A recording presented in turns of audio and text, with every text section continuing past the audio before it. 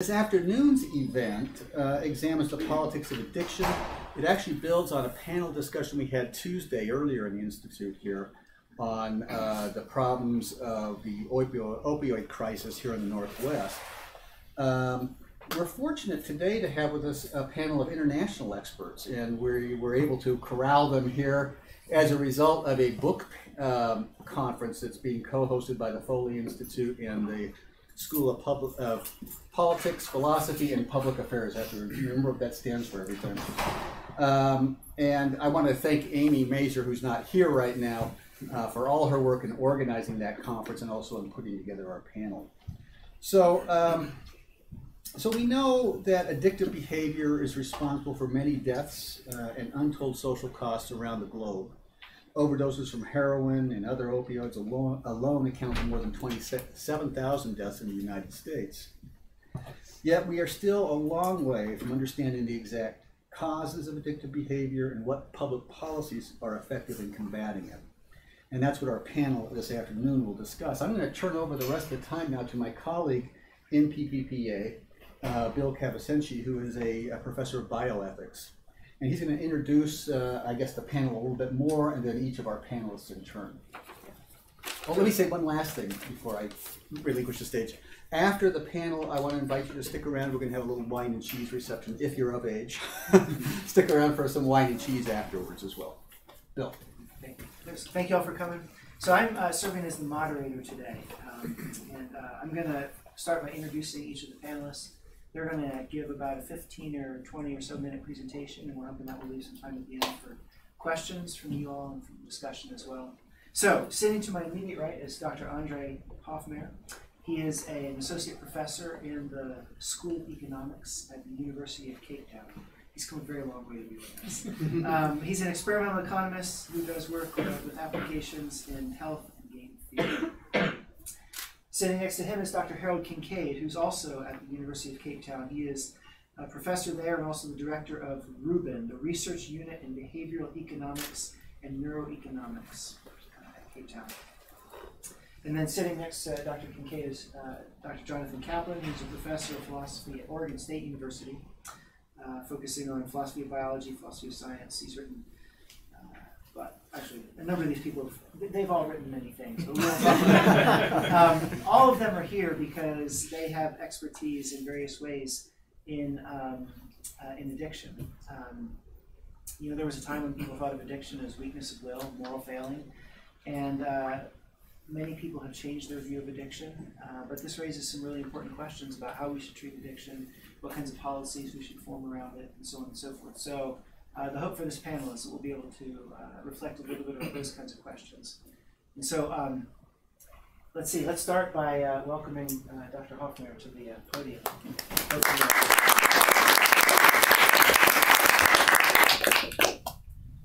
Thanks very much for the introduction, Bill, and um, thanks to everyone for inviting me here. Um, today I'm going to be discussing the economics of addiction, uh, which was the topic of my PhD and is one of my primary uh, research areas. Um, but before doing that, I think it's important for me to uh, dispel some myths and deal with what I think is the elephant in the room. Over the last few years, when I've told people about the research I conduct, the, the most common question I get is what does economics have to do with addiction? I can understand psychology and medical science, but economics? Well, what I hope to explain today is that economics is fundamentally the study of choice behavior in response to incentives. And there are certain features of addictive consumption that make it particularly interesting to economists and amenable to behavioral and experimental analysis. Now, I think one of the reasons people are often surprised to hear that I'm an economist who um, studies addiction is because a lot of people are familiar with the so-called disease model of addiction. The idea that addiction is uh, a chronic, often relapsing brain disease that um, causes uh, compulsive drug seeking and use, despite the harms to the individual and those around him or her. As you can see, it's endorsed by a number of major medical um, institutions uh, throughout the US uh, and the globe. Now, despite the widespread acceptance of the disease model of addiction, there's been a quiet revolution in addiction science over the last few years which argues that it can and should be understood at a behavioral level as well. Two researchers who share this view are the famous psychiatrist George Ainslie, who I've been lucky enough to work with, and Gene Heyman, who teaches um, courses on addiction at Harvard. In Heyman's book, as pictured on the slide, he argues that addiction is fundamentally a disorder of choice in the sense that it involves voluntary behavior, and it is therefore worthwhile to try and understand it at a behavioral level. Now, when putting together this, uh, this slide, I, or at least this presentation, I put together a couple of, couple of slides trying to explain how these two accounts, the disease model of addiction on the one hand, and the choice-based accounts of Heyman and Ainslie can ultimately be reconciled by adopting the appropriate levels of scientific analysis. The idea here is that addiction can be understood at both behavioral and molecular levels, and even though these levels put constraints on each other, neither can be reduced to the other. In other words, we would not want to adopt a reductionist approach to studying addiction where we only look for it and try to understand it neurochemically. There is potential benefit to understanding it behaviorally as well. But when prepping for this presentation, I realized it would take far too long for me to make this philosophical point, so I'll ask you to please take it on faith that it is worthwhile to study addiction at a behavioral level. Now, Addiction is particularly interesting to economists because in many ways it's an ideal puzzle for economic theory.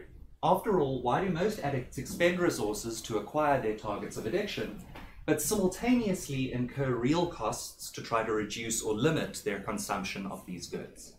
In addition, why is the typical course of addiction characterized by repeated unsuccessful attempts to quit prior to final abstention? From the standpoint of standard consumer theory and economics, these patterns of behavior are difficult to rationalize and have actually spurred a large theoretical literature on habit forming behavior, of which addiction is the exemplar.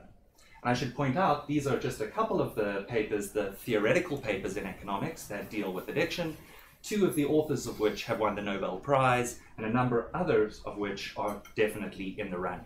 In other words, addiction is very, very interesting to economic theorists.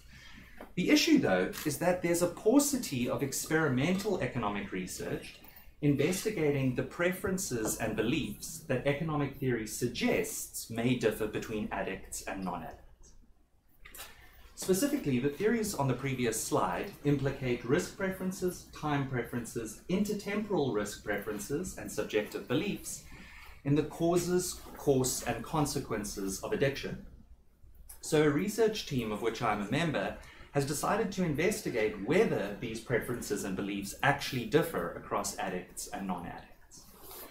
We've studied gambling behavior extensively, and I think Harold will be chatting about that um, in his talk. Um, but my research over the last few years has been on smokers, so I'll mostly be discussing smoking behavior. When it comes to studying addiction, smokers are really the ideal convenience sample because they're easy to identify and recruit, at least in South Africa. And to the extent that addiction has a, a common behavioral signature, it shouldn't matter whether we run experiments with smokers or other addicts.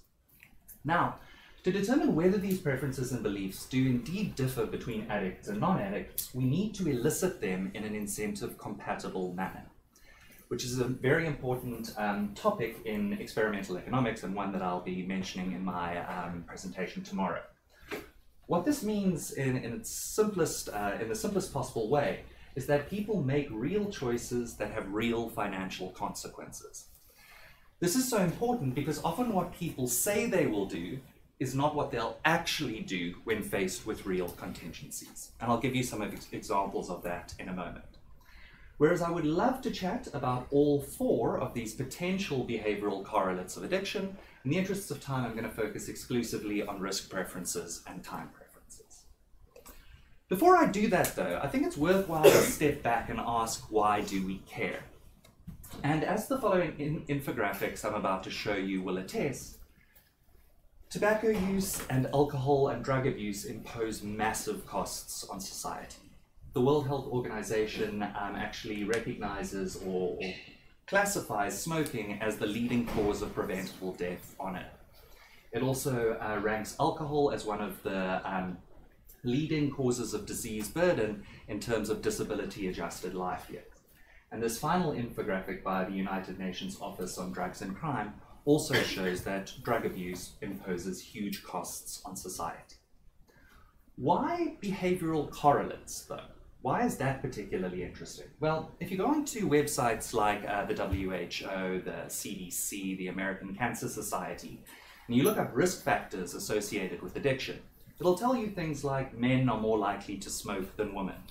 There tends to be um, a, a link between level of education and tendency to abuse alcohol. There's often differences in prevalence rates across ethnicities, and so on. Now, while that information is definitely um, useful and important, what we're interested in is behavioral correlates of addiction that cut across things like gender, ethnicity, age, level of education, and so on. Because if we can understand what motivates or what drives or what are the behavioral underpinnings of addiction, that should help us to develop better early warning systems and implement better prevention and treatment efforts. So that's why we ultimately care. In today's talk, I'm basically going to be discussing four studies I've been involved with uh, over the last couple of years. The first focused on time preferences of smokers in Southern California. The second focused on risk preferences, time preferences, and smoking behavior uh, amongst University of Cape Town students.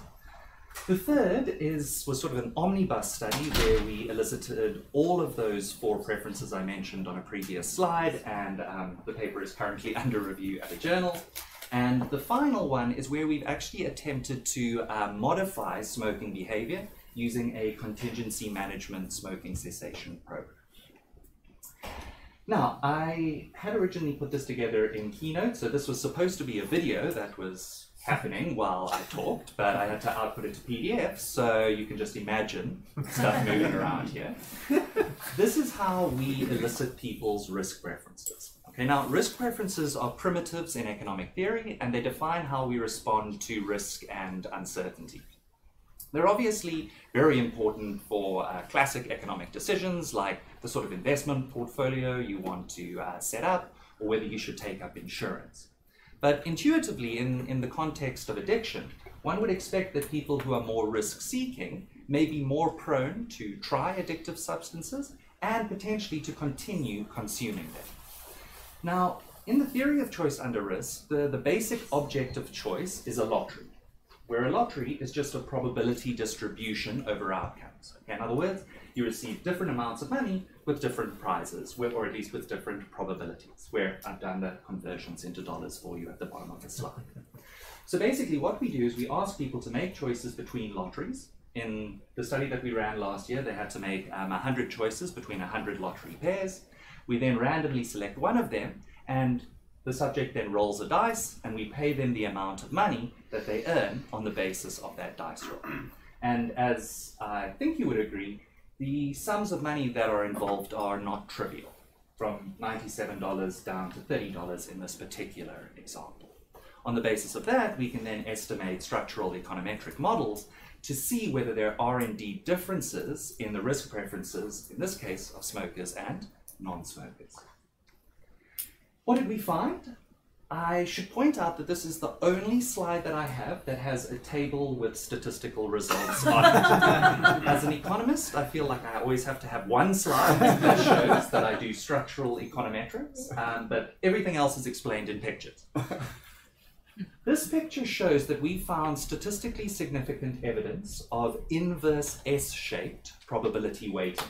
That's represented by the dashed curve in the figure and was the pattern that Kahneman and Tversky um, argued would be the most common when they developed prospect theory.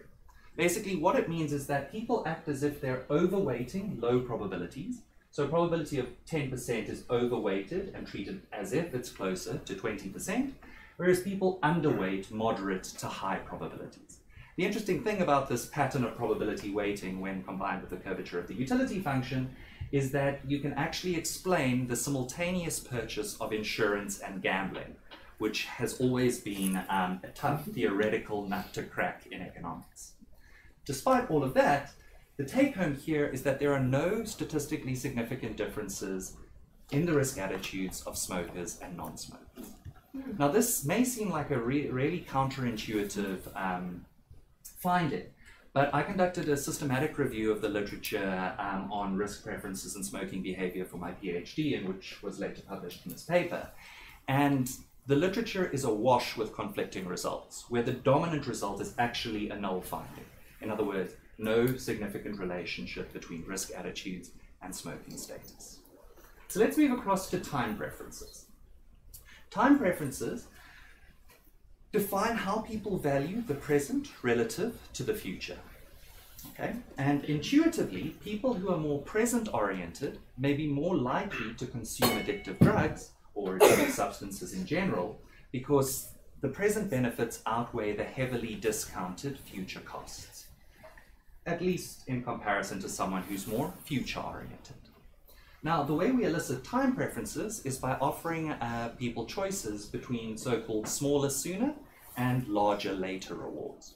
Where in this case, the smaller sooner reward is 400 Rand in seven days or $67 in seven days. And the larger amounts are listed in this green column where they were paid out in 91 days. Again, we present subjects with a bunch of these different choices, and then we later randomly select one of them and pay the subject that amount on that particular day. We do that by electronic transfer so as to minimize any transaction costs that they would have to incur by coming to collect the money from us. So, what do we find? Well, this is a kernel-weighted local polynomial regression with a 95% confidence interval, what my former PhD supervisor likes to refer to as a spaghetti plot, which shows the fraction of larger later choices as a function of the nominal annual interest rates on offer in our time preference task, broken down by smoking status. Okay? And the take home here is that non-smokers are far more likely to select the larger later reward than smokers. Okay? In other words, smokers, statistically and economically, that's a subtle difference, are far more impatient and far more impulsive than non-smokers they're far more likely to select the smaller sooner reward as opposed to the larger later. What's interesting is in a more recent study, we also included ex-smokers, and they discount at a level between smokers and non-smokers, which is pretty interesting if you think about the fact that they were smokers once, they obviously can't be non-smokers again, but they're ex-smokers, which places, somewhere, places them somewhere between smokers and non-smokers. We also investigated the relationship between smoking intensity, as measured by the number of cigarettes smoked per day, and so-called discounting behavior, which you can think of as a synonym for impulsivity or impatience. We found this interesting nonlinear effect between the number of cigarettes smoked per day and levels of impulsivity. Basically, as the number of cigarettes uh, smoked per day increases, so too does impulsivity, but only up to a point. And this particular nonlinear effect may provide some insight into patterns of cigarette consumption. It's long been assumed that the marked modal clustering around 20 cigarettes per day in mature smokers simply reflects the fact that cigarettes are, are typically sold in packs of 20. But it may be the case that cigarette companies learn to sell cigarettes in packs of 20 because that's where the psychofunctional and not merely the homeostatic equilibrium lies for the majority of mature smokers. Now, back to the behavioral puzzles that I introduced earlier. They suggest some level of time inconsistent behavior on the part of addicts, in that they simultaneously want to quit but continue smoking, and then they finally stop but then relapse. I am a case in point. I have not smoked for the last year and a half, but I smoked for about three years before that, and I stopped for about two and a half years before that. So I fit this classic pattern. I am time inconsistent in uh, the formal economic sense. In other words, if you were to ask any addict if they want to quit, they'll say, sure, but tomorrow. In other words, they have this desire to quit, but not right now, only at some point in the future. So, what's going on here? Well, we determined, uh, using a finite mixture model, whether smokers were more likely than non-smokers to make time inconsistent choices. And as you can see, these are two kernel density plots of the likelihood of time inconsistency by smoking status. And the distribution of smokers is shifted to the right relative to non-smokers, implying that smokers are far more likely to make time inconsistent choices than non-smokers, which may be an important factor in addiction and explain recalcitrance to treatment. On the topic of treatment, I'm now going to discuss a study where we try to actually influence smoking behavior. The previous results I've mentioned are purely descriptive. This is a contingency management study that we ran, which basically involves identifying an objectively defined target behavior, monitoring that behavior, and then delivering incentives for reaching the target behavior.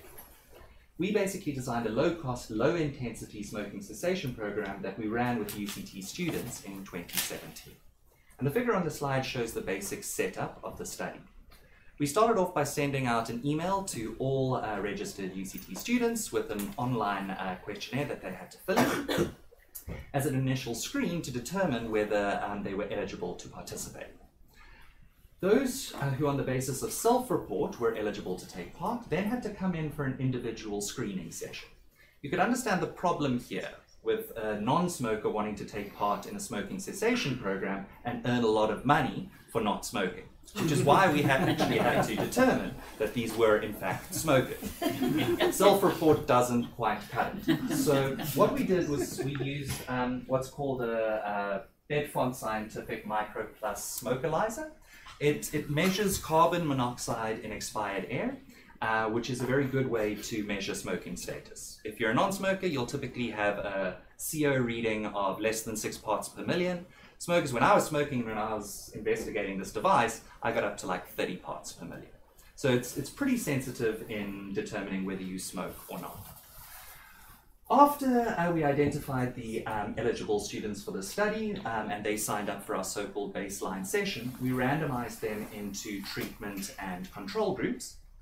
And then they attended our baseline session where we elicited their risk preferences and their time preferences, and they then went through um, a pretty lengthy questionnaire about their smoking history.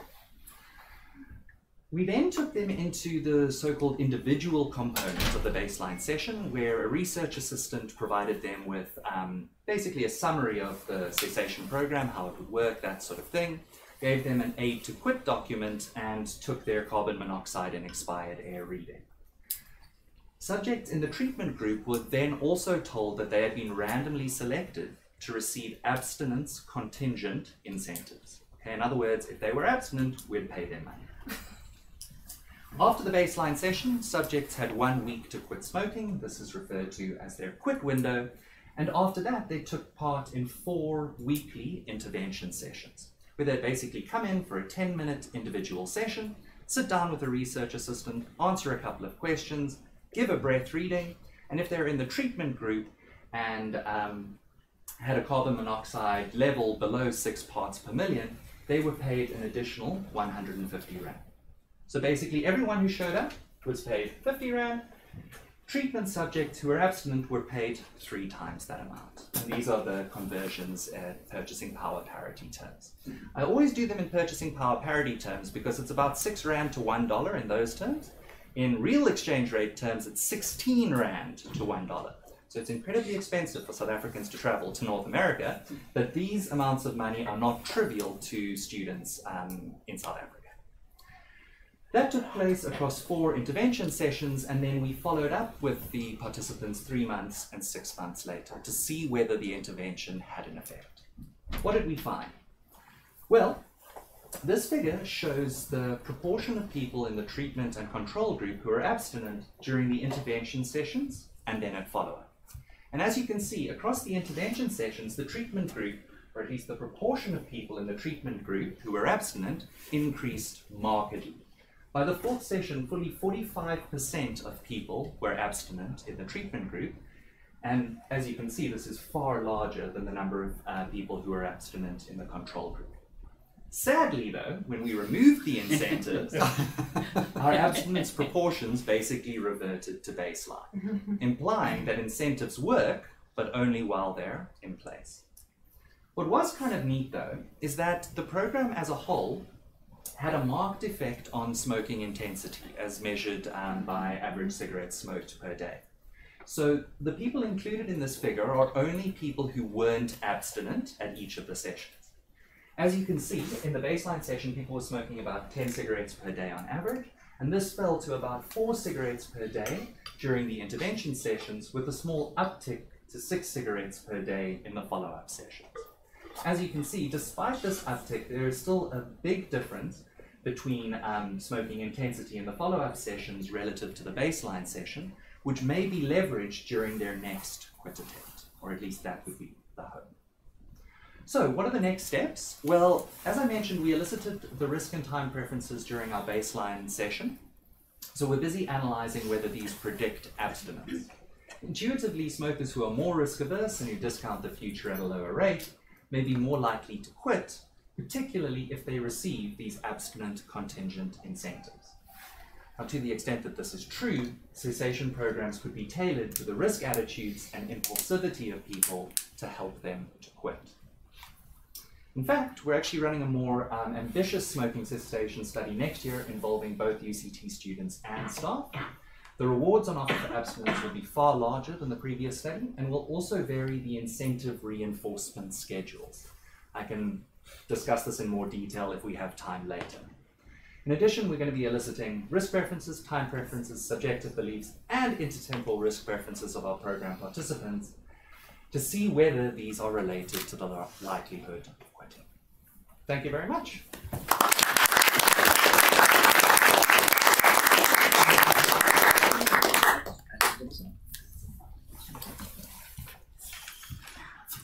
Do you want me to load you up? Yeah. Yeah, it's on there. Yeah.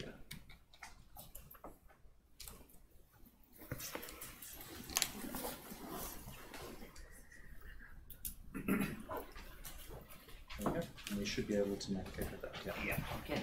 All right, so thanks to the Foley Institute and to Amy is it Ma- Mazer or Mazur? However you want. Mazur sounds fun, more In Chicago, we say mazer. Mazer, yes, okay, all right. And um, my talk's a bit more conceptual, uh, though I will refer to some empirical work for sure.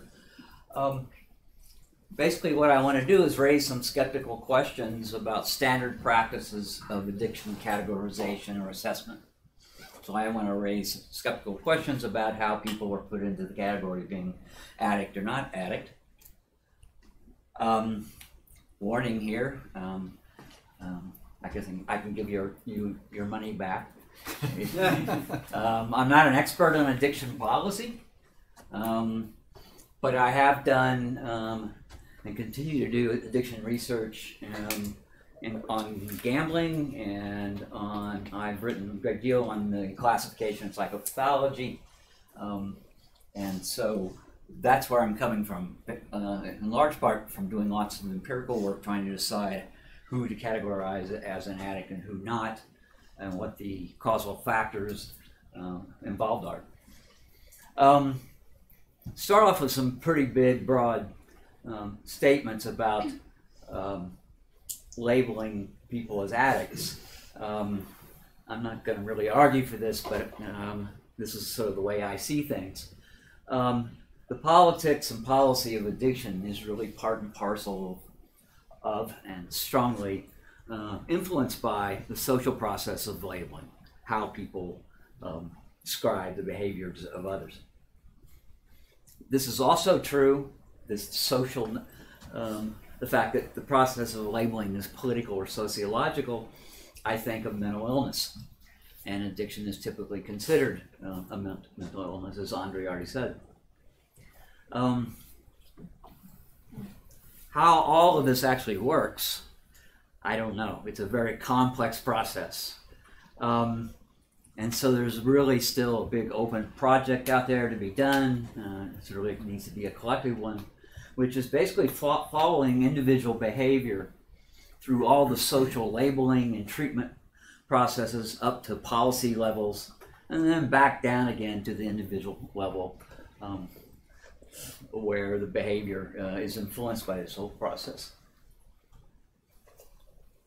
While that's a project to be done, what I can do is report on some pieces of the process that I've uh, studied. as you probably know, there's been a long debate over cent- several centuries about addiction, and the debate um, is some uh, whether addiction's a moral failing, or maybe a little less judgmental, a character flaw, or is it a, just a full-blown disease? This is uh, has important consequences, as you as you can imagine, on your attitude towards what we do with addicts um, whether we're seeking treatment, if they have a disease, treatment's a natural sort of thing. If they uh, have a moral failing, then um, shame on them. Um, the current trend um, is to classify addiction as a disease, as a chronic relapsing brain disease. And there's an ongoing movement uh, to expand the behaviors um, that get classified as addiction beyond the, uh, those that just that involve um, consuming some substance. Uh, the DSM-5, which is the the big um, encyclopedia of classification used in the U.S., um, used to count um, treat substance dependence and substance abuse as two different phenomena. Um, they don't do that anymore, but they can certainly continue to uh, label addiction as a disease.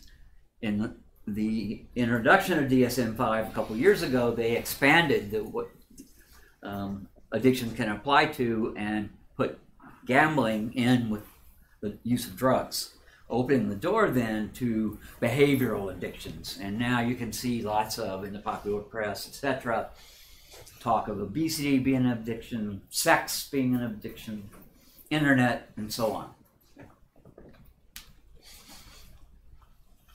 I think disease models of uh, mental illness are in general prone to a social construction process uh, in terms of how they're treated and how they're labeled.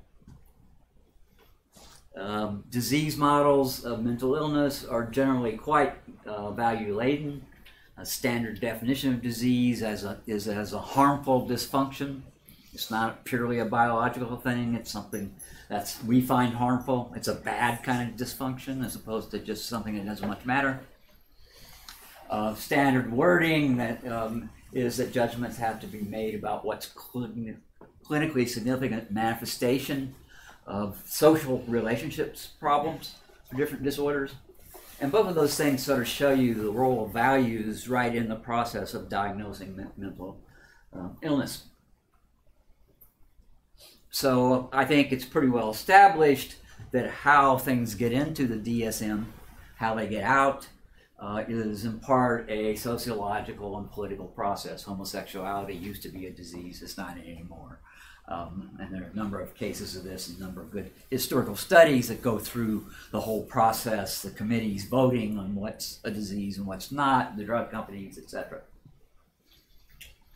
Um, and of course, in our own day to day interaction, it doesn't take the DSM, um, we make decisions about how we treat behavior and how we label that behavior, and that all has a big effect on what we, we treat um, ultimately as a mental disease. I think there's good evidence uh, that many behaviors labeled ad- addiction behavior are not, in fact, chronic mental diseases at all. Um,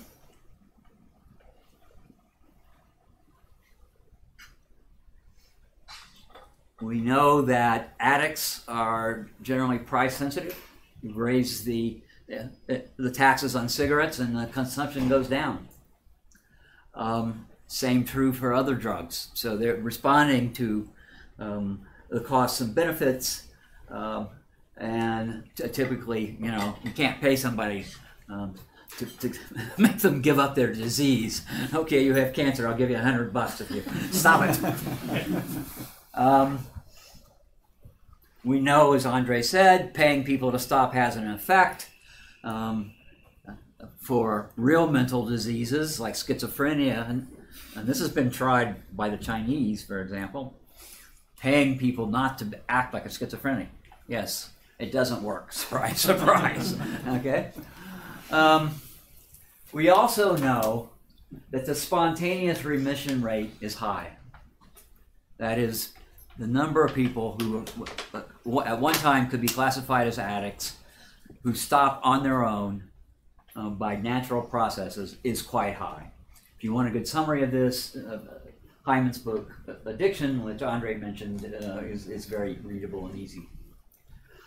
There are four uh, U.S. nationally representative large studies, uh, one of them up to 43,000 people, over different decades, and they've all find 75% or higher spontaneous remission rate. So that means the vast majority of people who have an addiction, addiction problem are not chronic brain uh, disease cases relapsing and relapsing. Studies of Vietnam vets, this is always kind of striking, um, especially for people in my generation. Um, many Vietnam vets came home with heroin addictions. Heroin was easily available, and if you were a soldier in Vietnam, um, you had a real reason to escape. When those vets came home, the vast majority of them stopped using. Right? And what looks like's going on in both of these cases is that um, as people age um, and their social obligations and social commitments increase, um, those things are enough to change their incentives to get them to stop on their own.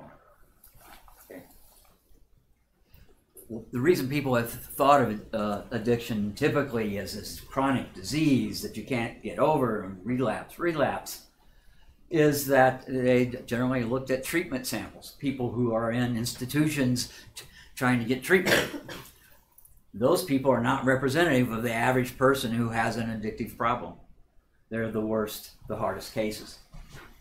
So the group that I'm involved with, which includes Andre, um, believe and on, I think, in what you might call a continuum of, of addictive behaviors. The people who get labeled in society as addicts are non homogeneous. The majority um, are transient addicts and they have varying degrees of problems with the social environment that they're in and the drugs and the social environment and all that. They're having some serious problems in life, um, but the, it differs from one person to the next. And these are the 75% that um, stop. Then the, our, our hypothesis is that, in fact, there's a small group, distinct from the majority, who are indeed classic addicts.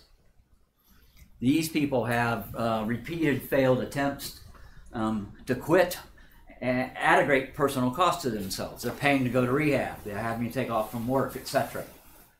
Um, these people probably have key neurological um, uh, signatures, key things about their brain, key neural adaptations to the drug. Okay. And then, obviously, um, I think it should follow that the prognosis and treatment uh, for these hardcore should be different than it is for the people who have a kind of problem in living who will get over it once they grow up and get all those fun things like a mortgage and, and kids and you know all that. Um, in particular our experience with problem gambling um, uh, supports what i've just said I was a PI on a, a, national study in South Africa of problem gambling, um, and have been following problem gambling for some time. Um, problem gambling used to have in DSM-4 one of the requirements or one of the criteria was that you committed illegal acts because of your gambling. I guess you'd knock off a liquor store so you can go to the casino, right? Um, that got dropped in the movement from DSM 4 to DSM 5, and the complaint was by the psychiatrists and others well, geez, there aren't that many of these people who've committed an illegal act. So there, this criteria is preventing us from helping people. That's because we can't call them addicts because they haven't, you know, um, been doing illegal things to support their work. Um, if you look at the actual criteria for um, gambling addiction, um, you'll find that there's a, number of things that are mentioned that are not really internal individual traits that look like disease states. There are things like people are, you know, irritated at me because they loan me money and I gambled it away and I haven't paid them back yet. And my um, significant other thinks I spend too much time away from home and those sort of things. But these are kind of social contingent factors, not the ones typical uh, um, of what you would think of as disease. Um, another thing we've learned in doing this research is it's quite a f- fascinating world out there, and the political scientists will know something about this if they do population surveys. In fact, there are multiple screens for problem gambling, designed by different people, different places, different times. They don't always overlap. That is, you can give the screen. They're supposed to be good um, judges of who's an addict, a gambling addict, and who's not. But if, uh, if you give everybody both of them, they disagree on who's the addict and who's not. Not a good sign, right? The screens themselves are a, step away from what the DSM is. The screens actually sort of take on a life of their own. Uh, this is particularly true for, for this kind of stuff in clinical psychology, where you get one screen that's tested against another one, and you never know that there was a gold standard that it actually measured something. Uh, most of the screens have lots of social factors like do people like what you're doing as part of the criteria. Um, there is, well, in our work, we've seen evidence of a small group of serious gambling addicts uh, in the heterogeneous population of um, people who have gambling problems. Um, some of this is just anecdotal. Uh, casinos are known for having large containers for people to put their diapers in near the slot machines because serious slot machine players don't, if they're on a run, they can't leave that machine. And so, like, yeah, you, you see how this works. They wear diapers. Uh, there's also a video of a, a, casino in Las Vegas that was being robbed, armed robbery, and the CCTV thing is showing this. It's, and they go to the people who are playing on the slots, tell them to lay down on the ground, pull, and they're going around taking their wallet and their, and their uh, watches and whatever. But in the corner of the screen, one of the guys laying on the ground still has his hand on the thing. He's going like this because he can't stop the right. That's the kind of stuff that makes you think there's a special group that really have a serious problem, right? And then there are more formal uh, ways of approaching this. One thing we've done is what's called taxometric analysis. Um, it's a statistical technique, but uh, but a special one in a way. Um, that can tell you if you've got a, a population of individuals with um, a set of indicators, whether that group, that set of individuals should be thought of just as uh, you know running from here to here in a smooth fashion, or whether there's a dividing line where you have one group that's distinctly different from all the rest. And when we look at our data, what we found, um, I won't explain to you exactly how these things work. Well, I will very quickly. Um, th- yeah, the nerd in me can't help it. Um, these things are cool because think of this example. I have data uh, of a population of men and women. I have measurements on each individual for baldness and height. I use these as indicators, and then I go take random samples from this, say, group of a thousand, and I take random samples. In subsamples that are mostly women or men, there's no correlation between height and baldness. But when the samples approach 50% men, 50% women, you're going to start finding a correlation. And that's an indication that we've got two groups, in this case, men and women. And when we do this, and we had published this, we find, in fact, that our data suggests yes, there are those people who wear diapers uh, and and use a slot machine even when their life is in danger, uh, and, and, who are distinct from other people who just gamble off and on and have some problems. Um, so the general moral here is, I think, um, addiction policy discussion should not take much of mainstream addiction framework at face value. There's reason to be skeptical of the framework when you're trying to decide what to do. I don't know what the uh, policy implications exactly flow from this, but this seems to be a first step in trying to make reasonable policy. So, thanks.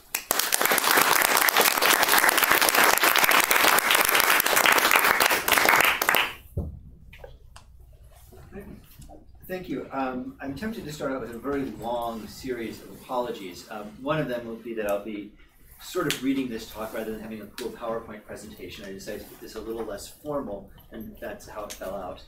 Um, the other is that if you're one of the few people here who was at my talk this morning, some of what I said there is going to seem very familiar to you, and you, I hope you don't get too bored.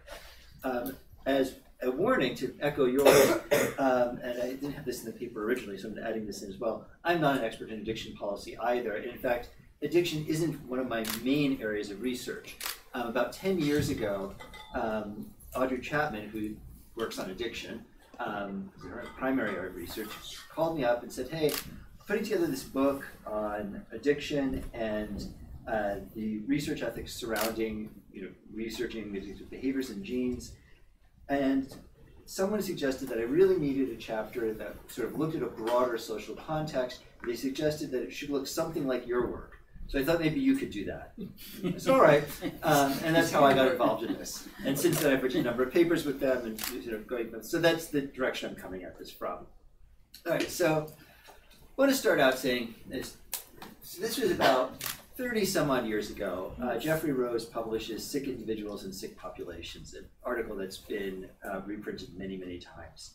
And in it, he argues that there's this really important distinction between what he termed the causes of incidence.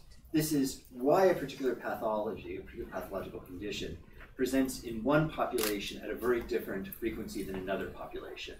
And on the other hand, the causes of cases, why within this population this person got the disease rather than this person.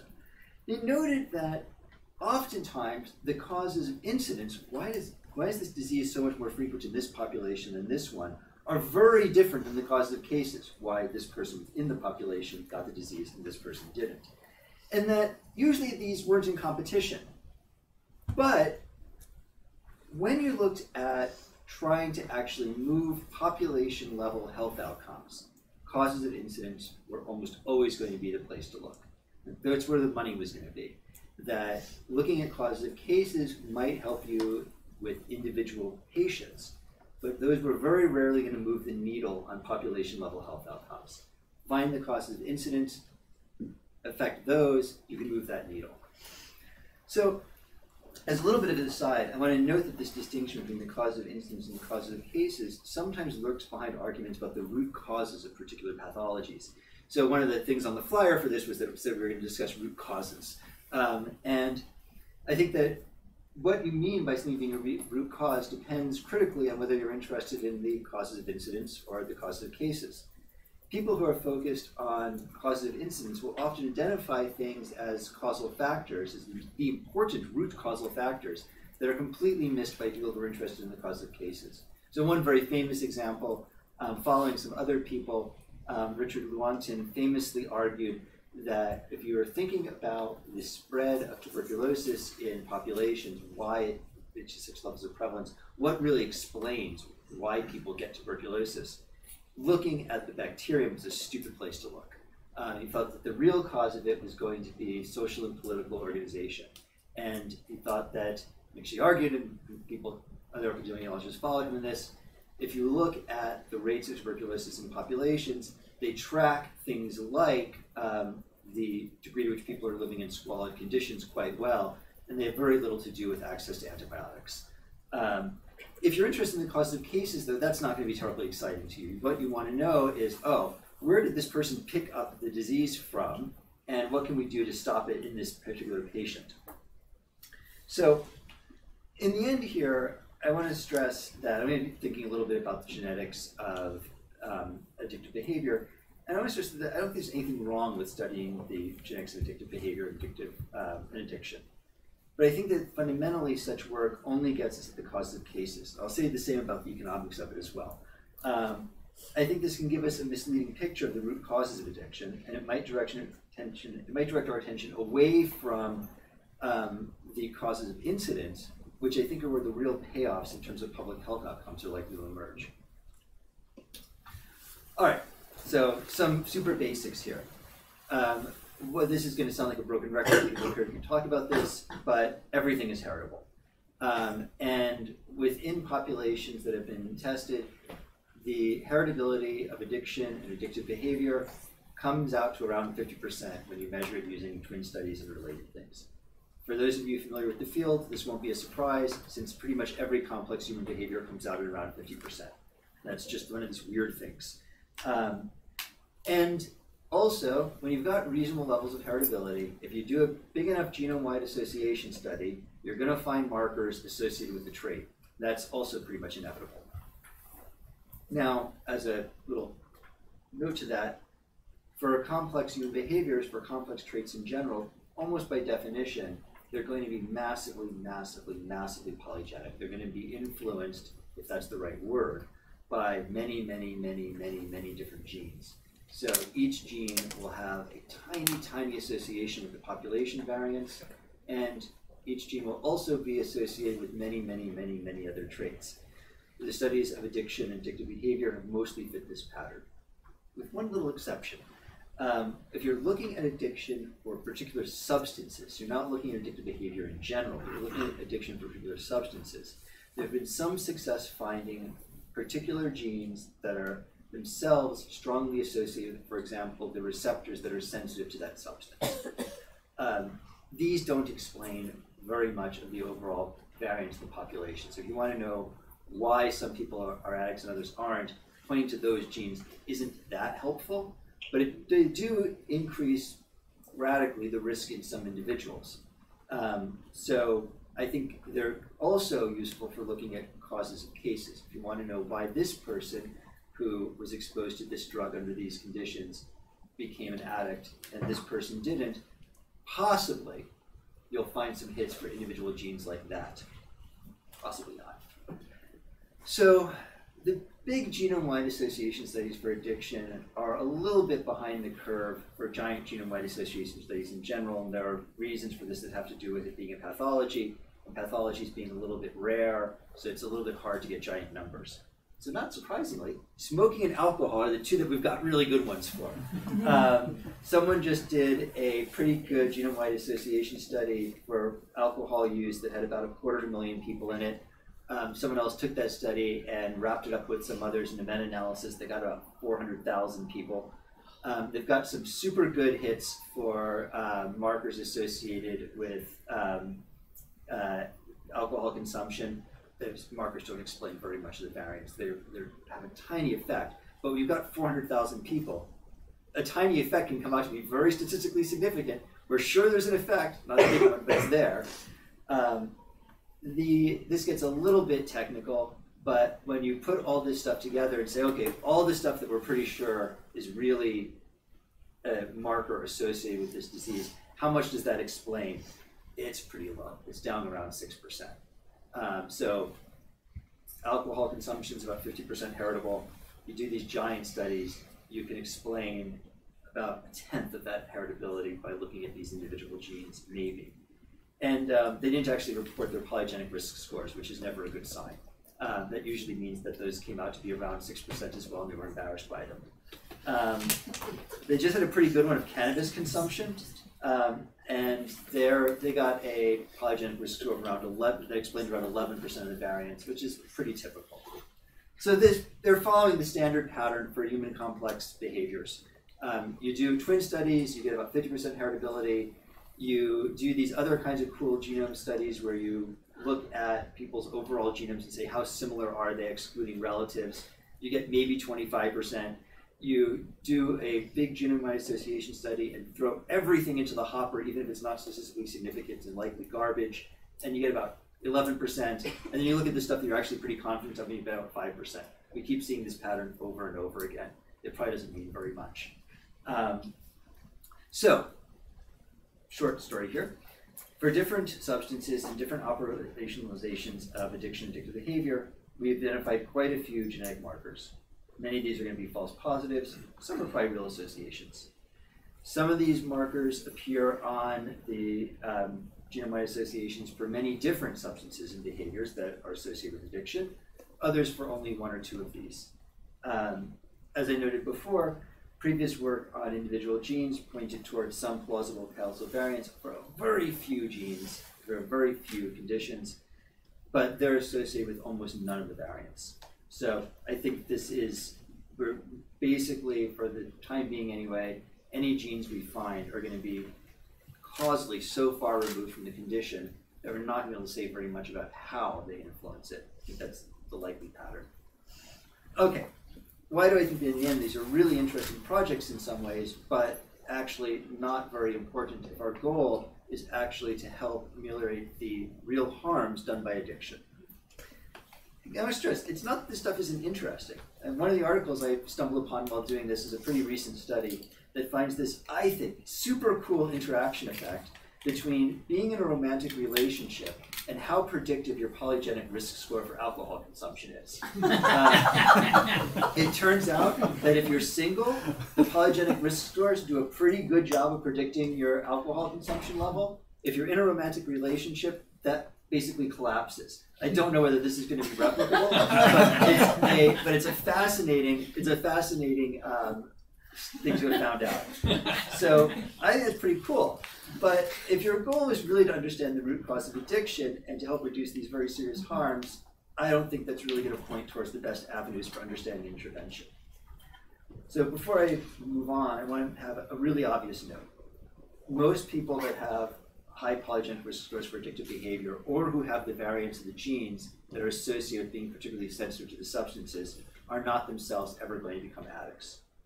That increases the risk, but it increases the risk a little on what's already a pretty small risk, so your chances of actually being an addict, even if you score really highly on these, is low. And most addicts aren't going to have particularly high polygenic risk scores or these variants. Um, this is the sort of standard pattern that you see for all pathologies like this.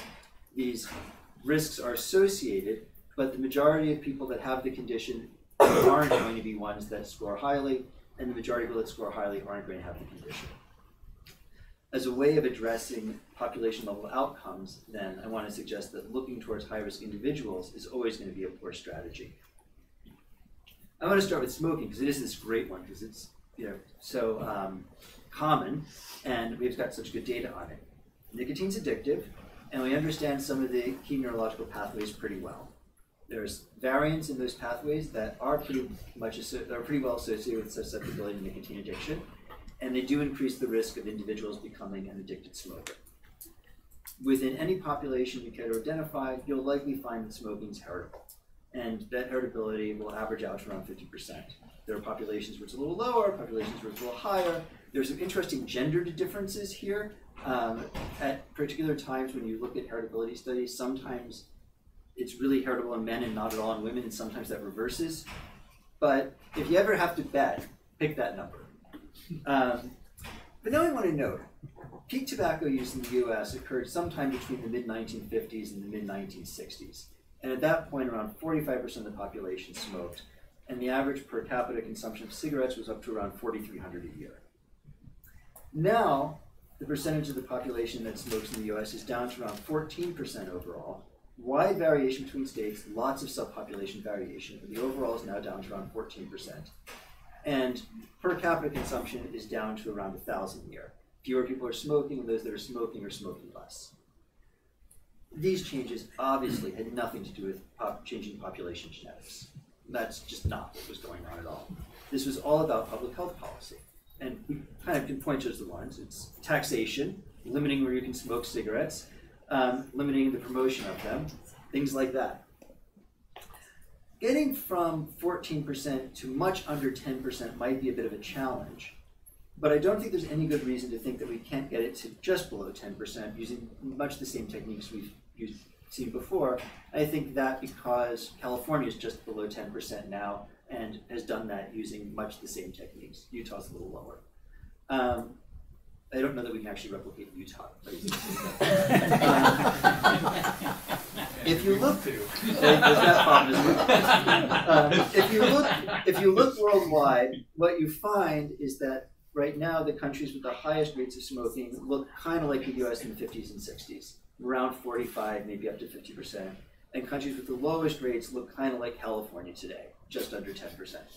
Again, nothing to do with differences in sensitivities to nicotine between populations, nothing to do with them having different polygenic risk scores. It's got everything to do with the policies and the economics of those nations. So, even if within a population, most of the variation in a trait is associated with genetic differences, the variation between populations can be, and often is, entirely environmental in origin. I don't think that has a ton to do with root causes per se. I'm not sure that we can agree on what a root cause is. But I think it does suggest that policy responses that aim at those environmental factors, those factors that vary between the populations and explain the population level differences, are more likely to be effective in reducing the real costs and harms of addiction and addictive behaviors than our responses aimed at individual risk factors. So, as if you're doing that, I think the I just you told me the talk last week was on um, opioids in uh, the Midwest. Um, Northwest. Northwest, yes. um, at the moment in the U.S., um, overall life expectancy has dropped for several years in a row. I think we're up to four years in a row now. Um, and the blame for this is usually attributed to the rise of deaths of despair. And addiction is one proximate cause of these deaths. Alcoholism and drug overdoses account for much of the increase in mortality and morbidity. Um, and many of the additional deaths that are deaths from suicide are wrapped up in addictive behaviors as well. While the spread of powerful prescription opioids, which was encouraged by pharmaceutical companies looking to maximize returns on a lucrative new painkiller, um, is surely part of the problem, most researchers agree that a bigger part of the problem is the failure of the economic and social systems that previously supported many of the people now turning to drugs and alcohol. Quite obviously, though, no part of the increase in deaths of despair can be blamed on changing genetic factors, nor on the frequencies of the sorts of neurological or other biological correlates to risk. I think that we might say some interesting things about um, changing uh, time horizons and um, changing assumptions about the future. I think as an economist, those would be very useful things to start thinking about here too. Yeah.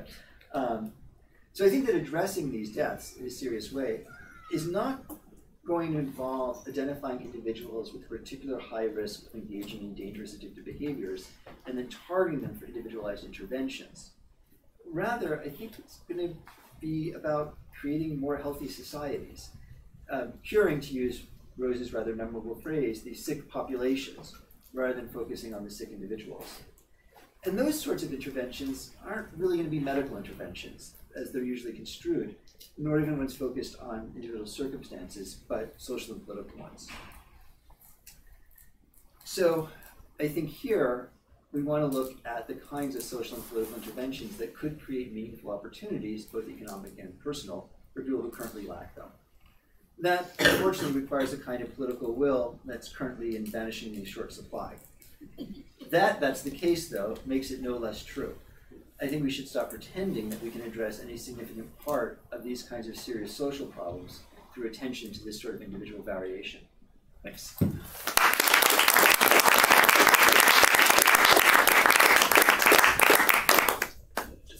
Thank you to each of our panelists. So we have some time now for questions. I'll open it up to the audience first. Um,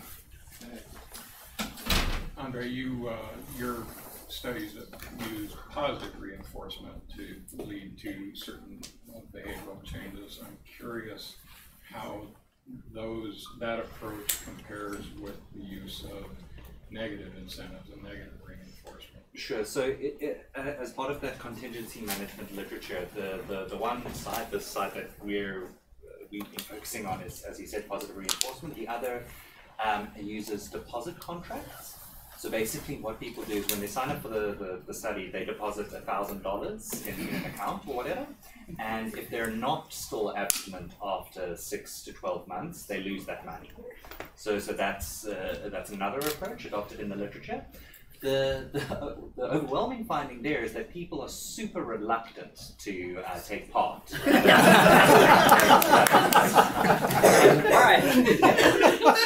and, and surprisingly, they're not, they're not particularly effective. Um, there, there, have been other, uh, other studies where people they use like group incentives. So you're partnered with someone, and you only receive incentives if you're both abstinent. So adds sort of a social value to um, to quitting, and those those are, are more successful um, when combined with the positive reinforcement. Um, but yeah, uh, the, the, the deposit contracts are not as effective as one might think they would be. Yes. So, this might be a bit of an odd question, but is there kind of a threshold, or is it mostly just genetic factors in which uh, some sort of addiction takes takes hold on someone? Because uh, I I'm also an ex-smoker, and it is really hard to quit. Uh, but I've also gambled before, and I've never felt particularly drawn to continue gambling. So, is there amount of time that people spend uh, gambling when an addiction starts to form, or amount of time someone smokes before an addiction starts to form? Very good question. Um, and I, I think it varies a lot by substance or activity. So, I mean, smoking is just by far the most addictive substance, uh, by far. And the, the, the, that's why it's so great to study if you study addiction, because people who smoke regularly are addicted. It's, it's really as simple as that when it comes to smoking. Same is not true of most other substances. People recreationally use lots of substances and would not be classified as addicted. So I think it depends a lot on on substance or activity um, that that affects that sort of window of progression from experimenting to sort of yeah falling off the wagon. Yeah, I can add to that, uh, something I meant to mention. One of the, if you look at the kind of individuals that we picked out that are probably the hardcore addicts, um, one of their striking characteristics is that they have other problems. Depression or some other drug use. Those are the two big ones. Um, so it's it's the comorbidities as they call them, which is a double whammy. So it, it probably puts the people who go over from non-addictive use to worst case. So the whole idea of sort of self-medication, it's often the case that people who, um, you know, uh, are screened for uh, alcohol use disorder and, and, you know, hit the criteria have these co-occurring disorders, yeah. Yeah, but I, I'll, I'll defer I think there's a guy in the back as well. Uh, yeah, from, from an anthropological or evolutionary standpoint, are there any theories you find interesting? Like, was addiction always such an issue in the human race? Species, excuse me? I think you're the evolutionary guy. Yeah, I, I mean, I'll, s- I haven't done much work on this in particular. Um, so one thing to note is that, for example, that that nicotine is so addictive uh, has to do with the fact that it hits a bunch of really highly conserved receptors, and by that I mean that there's stuff that not only do most mammals have them, most animals have them, um, and they're important for um, all sorts of other neurological things. And it just so happens that nicotine hits them. Um, and it's, I mean, the reason that plants produce nicotine was that bugs wouldn't eat them because it kills the bugs by screwing up their nerves. Um, and so it's, you know, this is a, it's a deep, highly conserved thing that just happens to in humans have this interesting effect because we figured out how to ingest just enough of it to have it have the effects that it does um, nicotine actually has the pleasurable effects of getting small doses of nicotine without immediately killing us. Um, there's nothing in our evolutionary history that said that that would be possible or um, certainly not guaranteed. One can easily imagine a world in which no plants developed nicotine as a defense, in which we never stumbled upon it as a drug to use. Um, and I think that's true of most of these sorts of things. Um, I don't, I don't know of any studies of addictive behaviors in so-called um, traditional hunter-gatherer societies, which weren't, which aren't, of course, really traditional societies because they have just as long enough, uh, just as long a social history as any of our societies. But people often think of them as a proxy for historical ones, and I, I don't know of any research into them. I don't, and it doesn't Yeah, what do you think? I mean, so from what to to, to sort of perhaps more directly answer your question, uh, addiction is a relatively recent phenomenon in, in an evolutionary sense. So psychoactive substances have been used since the dawn of time, but addiction is uh, they were typically used in like religious ceremonies and specific ceremonies and festivities or whatever. But addiction, at least to my knowledge, is is relatively new in across the span of human existence.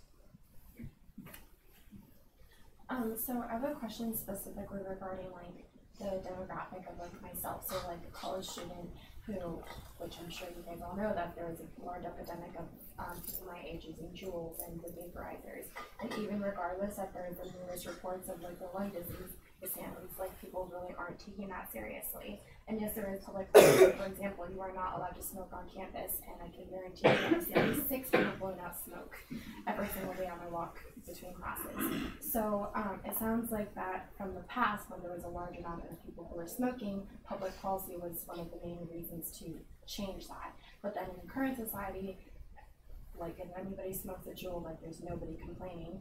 Um, and so the social pressure is not there, and also the public policy of don't smoke on campus obviously is not working. So from that standpoint, like if public policy is something that is supposed to work, then like how like what would be something that like the government or something could look into doing? If my does that make sense? Sorry. It does. Um, so this is this is not an area of expertise for me. So uh, I'm, I'm speaking a little bit off the cuff here. But I mean, what's worked in the past has been raising the price and limiting access. Um, so those and those are things that are being considered. There's legislation being considered in a variety of at state levels now about limiting access and or taxing um, vaping devices. Um, So, sorry, but Yeah. my main rebuttal is one of the large issues with that is that people are just going to the black market and it sounds like a lung disease is coming from those, um, I was going to say I'd never support limited access Yeah. ever. I think uh, personally this may be a very controversial um, statement, but I think all drugs should be legal but heavily regulated. I think, I think limiting access, I mean, heavily regulated was the idea there. Sure. Yeah, sure. Thanks for the clarification. Yeah, but uh, I mean, you're you're right. I think I think the problem with uh, e-cigarettes um, in general, the Juuls are e-cigarettes, eh? yeah, yeah, um, is that they haven't been around for long enough for us to really know the long-term effects. There's a lot of indicative evidence that they are not good for your health, but there is certainly no no medical consensus on that fact. And you know, it really took the Surgeon General's report in when was it, '77 or whatever, to start changing public opinion on smoking and public policy. And until there's really a consensus that e-cigarettes are as bad as a lot of people think they are, I don't think there's going to be enough of a push to to do what um, John was saying. Yeah. So raising prices, but I mean, I read recently that it's now illegal in San Francisco to purchase um, e-cigarettes or vape or the liquid or whatever that goes with it. So some places are doing. So what, what has happened in California, Jonathan, that's dropped the, um, um, smoking? Super high prices and lots of laws regarding where you can smoke and where you can't. And basically- social sanctions. And social Big sanctions, yeah. yeah, yeah. Yeah, so I think that's part of it. I mean, that, that and this might be a pro- this might be a place where vaping is going to be different. Um, that people that didn't smoke and didn't want to be exposed to secondhand smoke are very vocal about telling people that they're not allowed to smoke in places. If you're if if someone's vaping and not making a big deal out of it, most people won't either won't notice at all. People can be very subtle about it, or won't care very much. So that social sanction might not be there. Um, but the, you know, I think those were the keys. There's high prices, lots of limits on where you can smoke. I mean, I remember when um, the smoking ban in San Francisco took effect, when it went from uh, bars, where it went from you could smoke in bars to the next week you couldn't. And obviously, bars didn't go smoke free overnight. Uh, most bars ignored it until they started getting fined and they started getting you know crackdowns. Um, but within the year, basically bars were smoke free. And that meant that if you were a smoker, you had to go outside. Um, and that was inconvenient. And so a lot of people that would have, I mean, a lot of my friends that would have sat around drinking beer and smoking, smoked a lot less or didn't smoke at all because they're like, oh, I don't want to get up, get my jacket go outside or leave it here and worry about it. It's just not worth the hassle.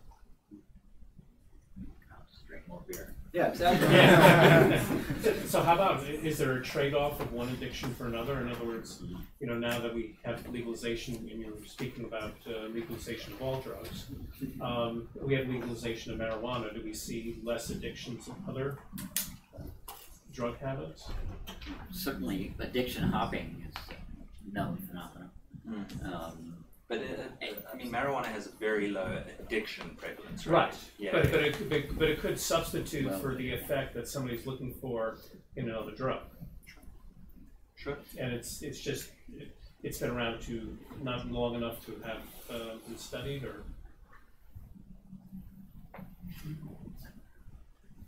It's a good question. I, I, I, it's it's not, nothing I've ever looked into specifically. Um, but yeah, I mean, as as Harold was saying, a lot of you know when it comes to sort of the the hardcore addicts, there's often lots of uh, comorbidities, so uh, a lot of other mental illness, and often um, multi-substance addiction, polysubstance abuse or addiction they call it. So yeah, I think uh, I think they're off. They're, often when you find hardcore addicts, there are a number of problems with the number of substances or other mental condition. Um, yeah, I suppose it de- really depends on the substance because most so uh, most uh, hallucinogens and psychedelics and stuff have almost zero addictive um, tendencies. Marijuana also very low. Heroin, cocaine getting higher, crack cocaine getting higher, and so on. And you often people I don't know. It's really hard to to give a cogent answer hmm. to that question, but it's it's a good one. One to investigate. Yeah. Bill, we probably have time for one more question. Okay, I'll give you the last one. Okay. So you said that one of the best ways or one of the most effective ways to tackling the issue of addiction is changing policies and regulations. And that makes me think of Portugal's drug law a few years ago. They decided to decriminalize the use of illicit drugs. And they have seen positive effects. They have seen lower rates of overdose deaths and all of that. Why do you think countries have not adopted this law? The war on drugs. That's why. Okay. No, seriously, the, the US's war on drugs has dominated public policy on substances all over the world for the last 30 years. It is very difficult to be um, on the good side of the US if you decriminalize drugs, and no one wants to be on the bad side of the US. In international organizations like the UN, the WHO, etc., the US war on drugs is the reason that things are as they are in most of the world, I would say. That sounds fair. no, because yeah, there, there are the, the exceptions like Portugal, uh, like Switzerland, where, where they take really sort of uh, liberal views, where you know they're they decriminalize them, they you know provide treatment, their prevention, and they have seen really positive effects from that.